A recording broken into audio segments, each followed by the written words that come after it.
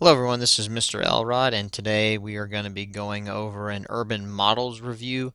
Now this is simply a review PowerPoint where you can test your knowledge on the different urban models. Uh, this is going to be just the picture of the models themselves so that you, you can get a feel for how well you know what the models look like. Now if you watched my first video I told you that one of the best ways you can study for the exam is by quizzing yourself over and over again. So the way that this is going to work is I'm going to move through the slides. I'm probably going to go to each slide, wait for about five seconds, uh, give you an opportunity to write down what you think the answer to the question is or what model it is. Um, and then I'll move to the next slide. The very last slide will be the answer key.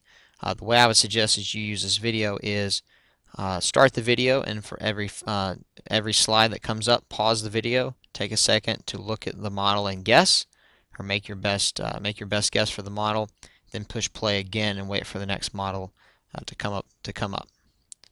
So here we go. Here's our first model.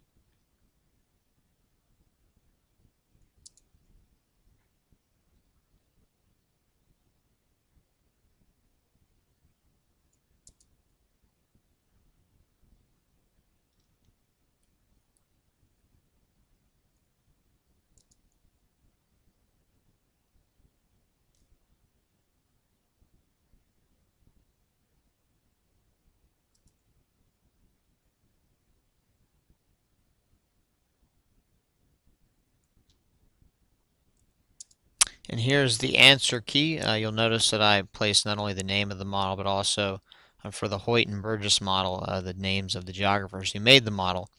Uh, again, I hope that was helpful for you, just a way for you to review. Now remember, uh, the best way to do this is to go back and look at the ones you didn't remember.